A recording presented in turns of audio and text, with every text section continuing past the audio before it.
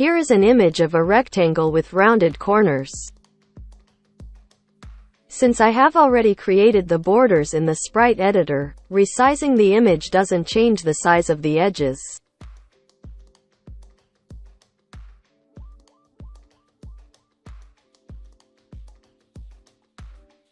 Sometimes you need different sized rounded corners.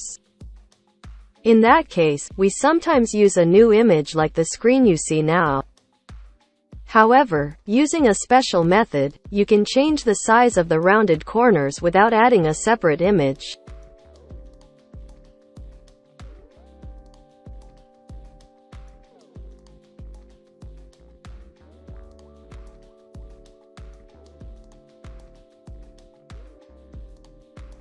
I'm going to duplicate the image with a corner size of 20 pixels. Let's change the number of pixels per unit multiplier among the options of the image we just duplicated. You can see that the image looks like the image with 10 pixels rounded corners. In this way, you can change the degree of rounded corners by adjusting the number of pixels per unit in an image. However, it is not easy to apply this method to all images. For now, we've used a filled-in rectangle image, but let's see how the line image will change. By changing the pixels per unit multiplier value, the line thickness also changed.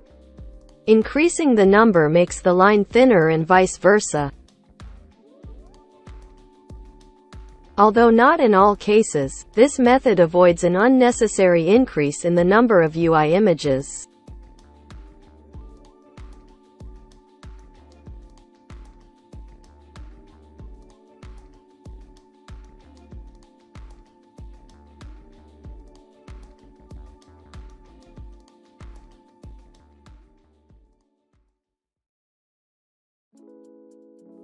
As stated in the previous tutorial video, it is mandatory to use an image with a power of 2 pixel count.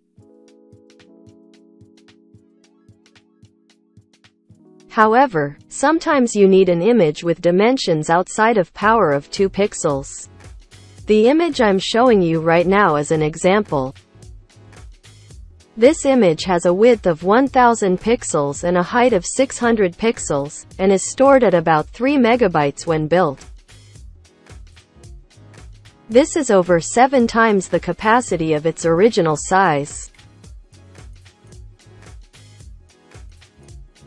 Let's apply this image to the UI canvas.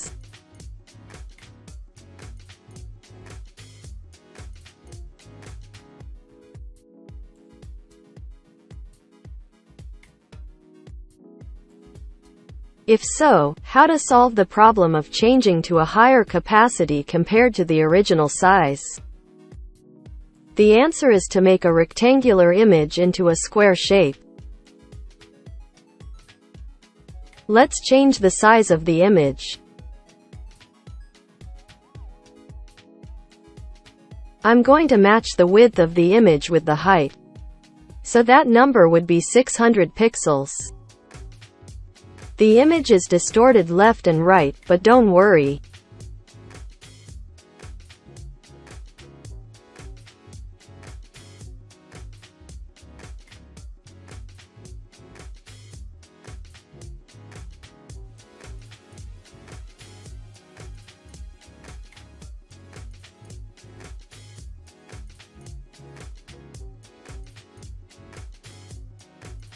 If you import the image you just saved into Unity, you will see that the size of the image is automatically converted to 512 by 512 pixels.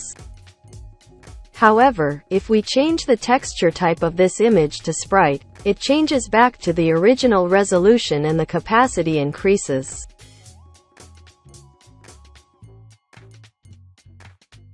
And if we change the size to 512 with the compression setting, we can see that the capacity is much reduced. Now let's apply this new image to the canvas.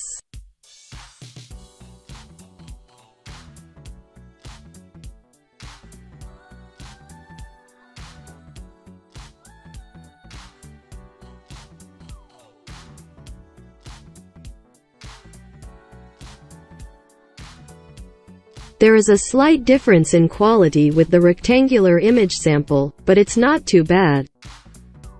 By forcing a rectangular image into a square shape, you can save storage and memory usage while maintaining quality. However, images that are too long are not suitable for this method, so it is recommended to apply Sprite Atlas after separating the images. Thank you. See you next time.